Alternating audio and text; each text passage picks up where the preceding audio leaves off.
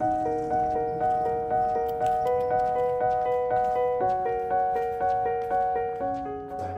Yeah. be some of you, like you watch documentaries, right? Like, Yeah, yeah, like someone's talking, someone's like talking while Yeah. they show things.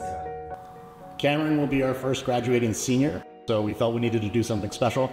This season, we will be following her through her journey as a senior dancer and everything that comes with it the ups and the downs of the season, competitions, conventions. I'm Camryn. I'm 17 years old. I'm a senior. I've been dancing for 15 years. And then for her senior season, it'll culminate with her um, solo performance at our recital in June. So that'll be the big finale and um, send off for Camryn.